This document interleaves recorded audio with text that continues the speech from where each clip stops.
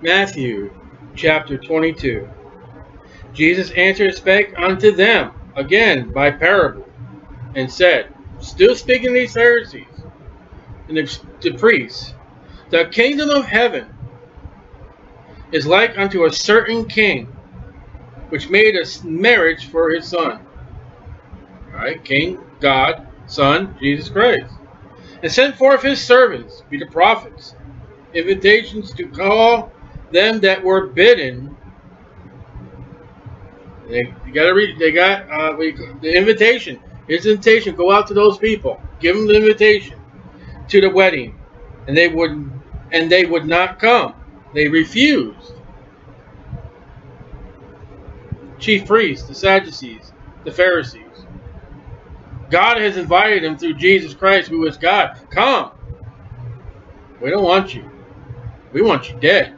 You're taking all the all the, the people. You're we envy of you. Pilate said. Again, he sent forth other servants, prophets after pro This matches the, the, parable of the householder that we just read in 21. All these they're killing them, they're beating them, they're stoning them, they're sending them away empty. It's one continual parable. Again, he sent forth other servants, saying, Tell them which are bidden. Behold, I have prepared my dinner. My oxen, my fatlings are killed, and all things are ready. Come unto the marriage. But Israel, but they made light of it, and went their own ways. That's refusing. One to his farm, another to his merchandise. That's a big change from what God has to offer you. The remnant took his servants, the Old Testament prophets, and entreated and entreated them spitefully and slew them. We saw that with the previous chapter 21. Stoning them, killing them. They've been mistreating the prophets, and God still sent his son, and Jesus Christ still came. When you read John 3.16, for God so loved the world, even when they're killing his people that he sent to tell them and to protect them and to love them,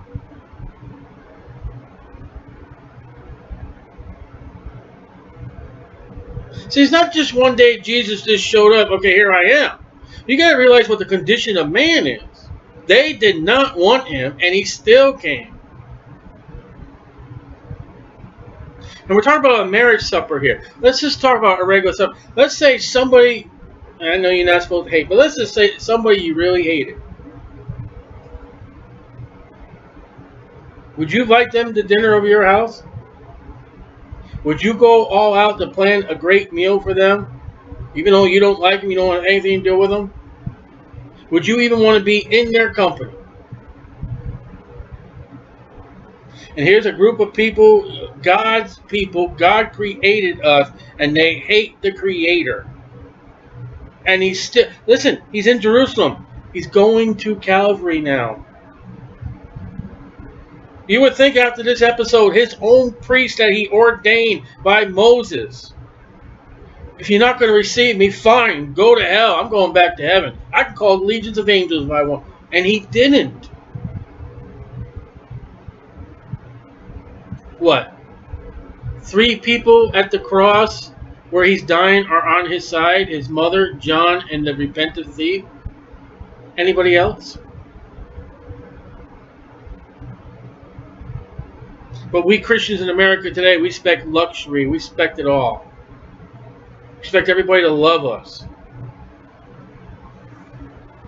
And when the king heard the, thereof, he was wroth, and he sent forth his armies.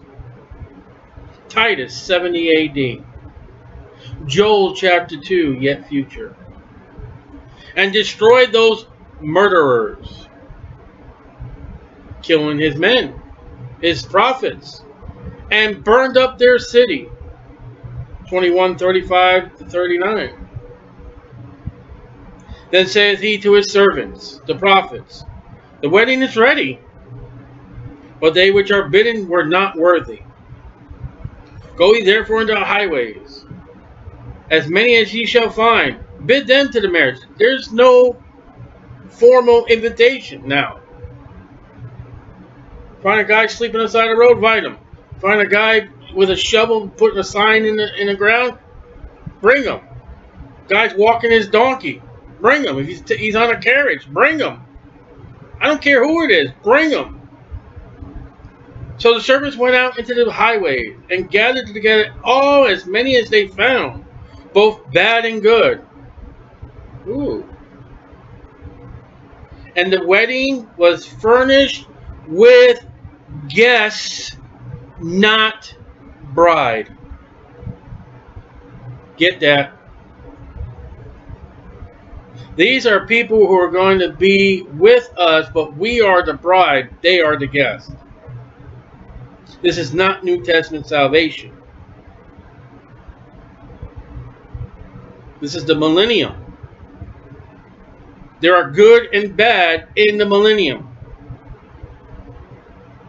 And when the king came in to see the guest, he saw there a man which had not on a wedding garment. And he said to him, Friend, how camest thou hither not having a wedding garment? And he was speechless.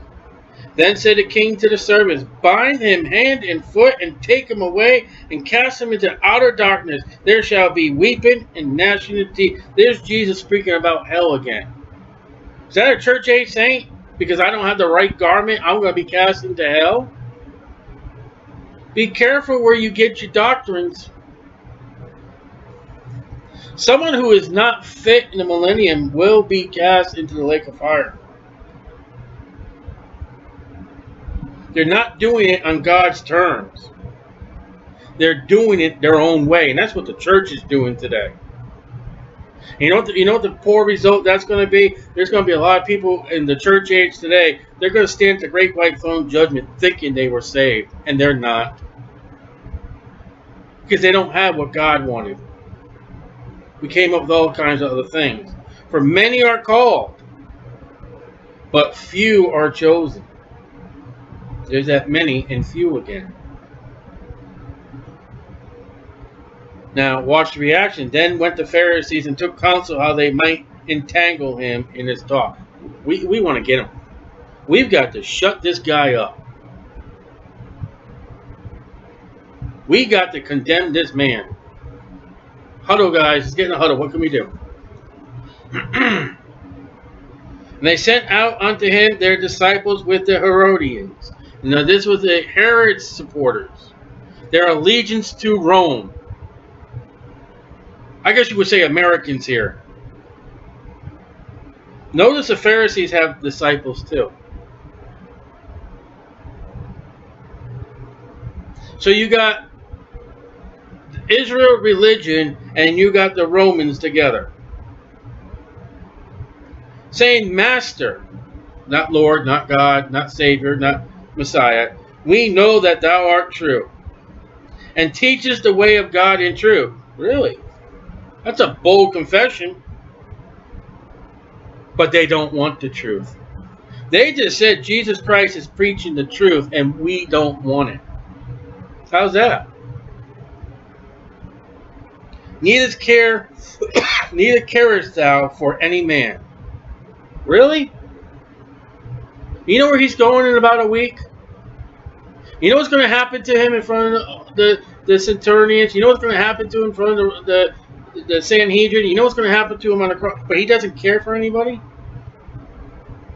For God so loved the world that he gave his only begotten Son? Neither carest thou for... That is a false charge.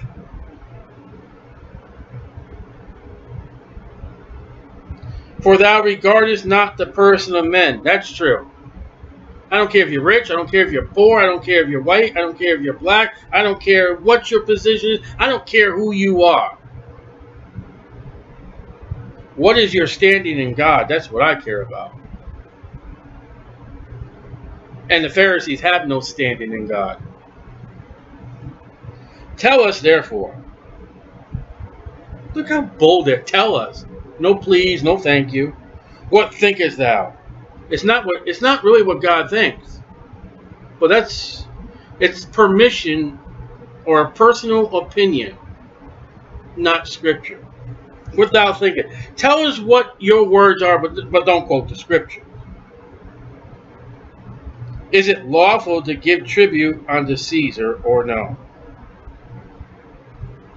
They wanted to accuse Jesus of tax evasion.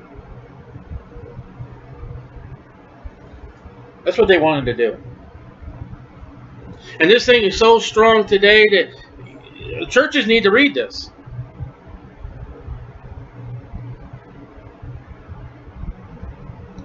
Is it lawful to give tribute, a tax, unto Caesar, or no? But Jesus perceived their wickedness. He knew it was a trick question. And said, Why tempt ye me, ye hypocrites? Verse 15, they wanted to entangle him. They didn't want to know about the taxes. They probably didn't pay them themselves. But they wanted to trick him. Show me the tribute money. And they bought him a penny. That's how much they made in, in the vineyard after one day's work, wasn't it? And he said unto him, Whose is this image in superscription? You know, it would be a picture of Abraham Lincoln on the one side and a building on the other side. George Washington on one side and an eagle on the other side. Things haven't changed, have they? And they said unto him, Caesar's. Then says he unto them, Render therefore unto Caesar the things which are Caesar's, and unto God the things that are God's. And how many churches claim tax exemption and the pastors thereof? When you unfold a green piece of money that says the United States of America on it, it's not yours. Don't have your name on it. When you take a coin and it says United States of America on it and it has a picture that is not your picture. You know who he's talking to? He's talking to the religion. He's saying, hey, if it's Caesar's, give to Caesar's. If it's God, give to God's. And he said a penny. That was a day's wage. You're supposed to pay taxes according to Jesus Christ. How are you doing on that one? Still, I think a lot of people, judgment seat of Christ, are going to find themselves at fault. When they had heard these words, they marveled and left him and went their way. They left. You know why? Because they're guilty. They're not paying their taxes. Instead of catching them at their word, Jesus made them guilty where they wanted him to be guilty. And I wonder if he, I wonder if Peter had the receipt, that fish of the coin that he went and paid the taxes. I believe Jesus would have kept those receipts because it would have been proper to keep receipts. Judas was the treasurer. He would have to keep some kind of book.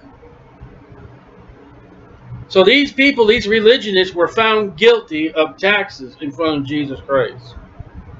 The same day, they just don't let up on him, do they? They want him destroyed. It says somewhere in one of the Gospels. Destroyed. Then came to him the Sadducees, which say there is no resurrection. Please mark that in your Bible. This is funny. This is really funny. You have any kind of public ministry, you're going to find this in the public ministry eventually. And asked him, saying, Master, again, Master, not God, Messiah, Moses said, If a man die and have no children, his brother shall marry his wife and raise up seed unto his brother. Perfectly right. And let me see if I can find that reference. Deuteronomy 25.5. Okay, that's correct. Now, once upon a time, a long, long, long place, there were uh, there were yeah, there were with us seven brethren. And the first, when he had married a wife, it doesn't sound like the story is true. When he married a wife, deceased and had no issue, no child, left his wife unto his brother. Likewise the second also, and the third, and the seventh. Evidently, the barrenness is with this woman. The last of all the women, the woman died also. Therefore, in the what? You don't believe in resurrection. Why are you asking this question?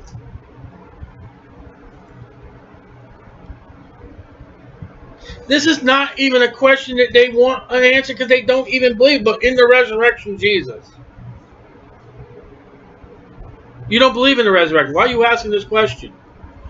I mean, how did we get all the animals? You don't care. You don't want to care. You don't believe in the story anyway.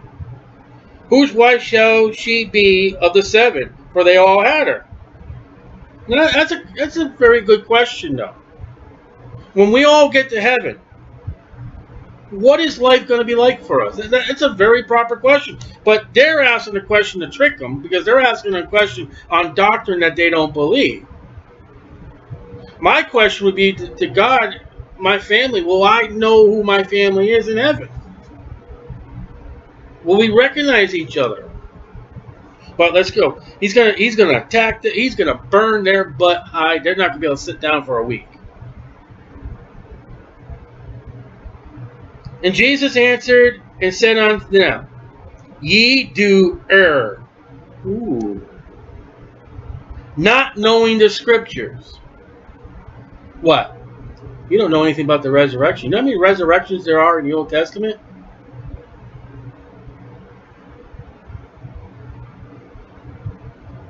Even even Herod believed in resurrection. He thought John the Baptist came back from the grave. Herod had more sense than these Sadducees. No resurrection, there's no hope. Where do you go? You're not knowing the scriptures, nor the power of God. What is the power of God? That's the resurrection. He's not addressing the question, he's directing their unbelief in what God can do for you. If Christ never rose from the grave, Paul said in our religion's vain, we just go out, eat, drink, and be merry. But the fact is that our Savior's tomb is empty. And he is seated at the right hand of God. That is the power of salvation in all my faith and my hope. Because guess what's going to happen one day? Whether I die or I'm alive, I'm going. Yeah. Without gas, without fuel, without God power. So, what's the world saying? Superpowers. I got God power. I got God power. For in the resurrection, you see how you just attacked them? Wait a minute. You want to know about the resurrection? You don't believe in the resurrection. But in the resurrection, you see how he, there is a resurrection. Now, the people are standing around, know these people, they know what they believe. And Jesus said, in the resurrection, he's making these people look like fools before the group, the, the, uh, the multitude in the resurrection, now this is this is us. This can be us. They neither marry. There's no marriage in heaven. But the bride to Jesus Christ. Now, if I go marry somebody in heaven as a bride of Jesus Christ, I'd be committing adultery against him. So I won't marry. But Jesus. Nor are given in marriage, but are as as the angels of God in heaven. So the angels don't marry.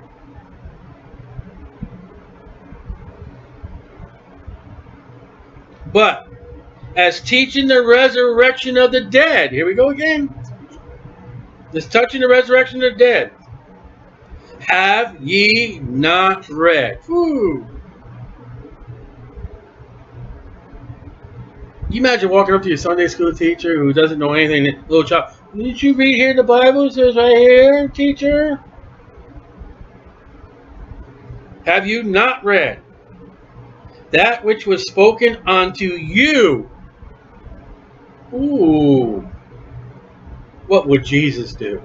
Phew, their butt is bred by God, saying, Now, man, my eyes are going V. do you be? This is going to be a quote from Exodus 3 6. Jesus said Exodus 3 6 was spoken by God if you got any problems. I am the God of Abraham and the God of Isaac, no Ishmael, and the God of Jacob. Aren't they dead? Long time. They lived a long life and they've been dead a long. God is not the God of the dead, but of the living. Today, for the Christian to be absent from the body and present with the Lord. Abraham, Isaac, and Jacob, now that Jesus has not died yet. This is going to get funny in here in a minute. Let's bear with me. They are in a place called Abraham's bosom, according to Jesus in, in Luke chapter, I think it's 15, right? These guys don't believe in the resurrection. Can we jump ahead to when Jesus died? What happens when Jesus dies on that cross? Doesn't the Bible say the Old Testament saints arose from the grave, started walking around, and it looks like that 40 days he was there? Can you imagine these Sadducees getting visited by someone? Hi, who are you? I'm Isaac. Thought you didn't believe in the resurrection. Just came to tell you guys that. Isn't this funny? Because there's a there's a resurrection in the Old Testament saints that are in Abraham's bosom when Jesus dies. That that's so funny. He's almost like saying, "Prepare to see Abraham, Isaac, and Jacob in a few days, boys." Joel and uh, he just named them all. Noah, and when the multitude, see the multitude's there, they're hearing Jesus rebuke these guys. And you just see him clapping. Heard this, they were astonished at his doctrine. Like, whoa, did you just see he put that pastor down? The greatest pastor of old Jerusalem, man, he sunk him. The guy's got the radio all across Radio Israel, man, he just sunk his boat. Whoa. And they also got a new revelation about death. Even Job writes, and David you know, what happens when you go in the grave? We can't praise you no more, Lord. And in kind of the sense, it's true. Until Jesus dies on that cross. Then those that are in Abraham's bosom are rising up from the grave and praising God. Today, we're absent from the body and present with the Lord. But when the Pharisees, oh come on, guys, knock it off. I, I, you know how stupid wrestling is. You know how fake it is. I picture the Sadducees, the Pharisees, and the scribes. Okay, your turn. Tag. You know, I just got my butt whipped on the thing. Touch. Your turn. They used, to, they used to have one where they would touch, and then you know the other guy would come in the ring and, and get beat up. And when he when he couldn't do it, he goes, uh, uh, "Come on, touch me, come on!" You know, it's so fake. But when the Pharisees had heard that he had put the Sadducees to silence, silence, they were put away in 22. They walked away. That's it. We're gone. Sadducees step up, and they're sitting there with a jaw in the dirt. Ugh had put the Sadducees aside, as they were gathered together. Sadducees and the Pharisees and the Herodians are now in a union meeting. We got to get rid of this guy. We're going to have a town council meeting and get rid of that preacher on the street there because we can't stand this truth. Did you see how he treated that guy? Opened up that Bible and made him offended in tears. Then one of them, which was a lawyer, asked him a question, tempting him. They're not done. Doesn't Jesus have patience and long suffering with these? I'm glad none of these idiots come up on because I tell you, after the second time, I would have been worried out, and, and sarcasm would have been coming out like rivers of water. I'm sorry. I'm not as graceful, as long suffering, as patient as Jesus is. But here comes a lawyer now. Ask him a question, tempting him, saying, Master, that means nothing. Because they're not serving him, are they? So why are they saying Master?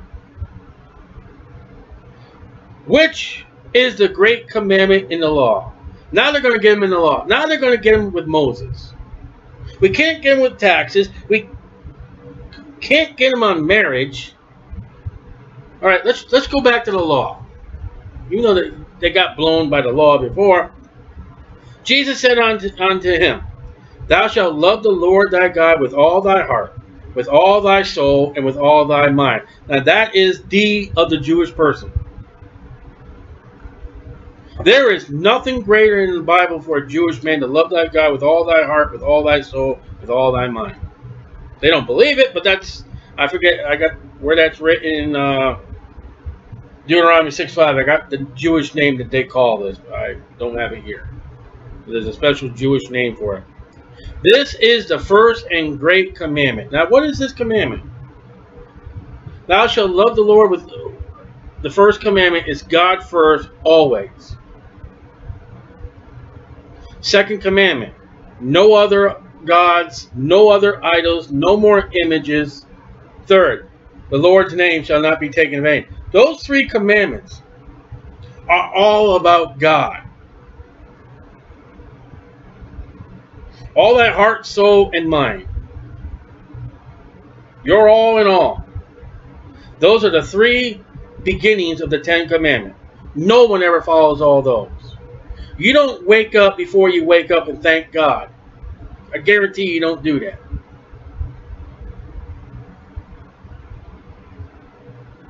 You know, when when somebody flushes the toilet in the house and all of a sudden it's turned to to the water in the shower, you don't think of God right away. You grab that handle. This is the first and greatest commandment. God first. The second is like unto it. Thou shalt love thy neighbor as thyself. Others next. Thou shalt honor thy mother and father. Thou shalt not commit adultery. Thou shalt not covet. Thou shalt not steal. Thou, those are your reactions to people. You don't offend people. You don't do things wrong to people. The Ten Commandments is your relationship to God and to your to others. That's what the Ten Commandments are. You break them down. So what he's done, he's taken the Ten Commandments and made them into two. God first, others next. There's no you. There's no 39a verse and then yourself. It's God first and then your neighbor as thyself. On these two commandments hang all the law and the prophets.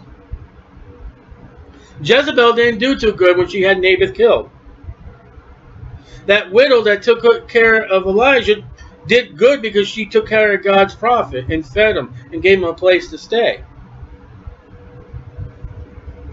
While the Pharisees were gathered together, Jesus asked them, oh, here he goes, saying, What think ye of Christ? It's him. Whose son is he? And they said unto him, The son of David. Only because through Joseph they're saying this. That's the genealogy of Matthew. And Mary's genealogy goes to David too. It just splits off at the boys of, of David. So it's true. We're David. The proper answer would have been that Peter said the Son of God. Peter knew more than the Pharisees knew. And they're also proclaiming that the royalship, the kingly line of Jesus Christ when they say the Son of David. He said unto them, How then does David He's addressing David in spirit. Call him capital L O R D. You've been calling me master. He's getting them now. You said master, master, master. Well, okay. How does David in the spirit call him Lord, saying, the Lord, all right, now he's going to quote, the Lord capital L, capital O, capital R, capital D, said unto my Lord, capital L O R D. Sit thou on my right hand till I make thy enemies thy footstool. That's God speaking to Jesus Christ, but David wrote it.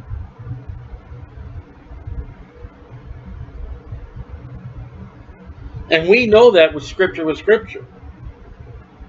He just said, okay, if I'm of David, how does David say that God has spoken to him, sit down into thy enemies be your footstool, David's dead. It's not David. It's God speaking to the Son. He said, well, he says capital L-O-R-D. It's not, they're the same. The only difference right now that Jesus, he's in the flesh and he's going to take that sin. In God, there is no sin. But when they've been calling him Master, Master, Master, they don't believe he's God. So he brings the question out listen, I'm Christ. And God, through the scriptures, through David, has pointed me to be the Christ of God. And you guys, sit down my right hand. That is where he is right now. You're my enemies. You know I'm going to do one day to you boys? I'm going to sit up on my throne. And I'm going to put my feet on your head.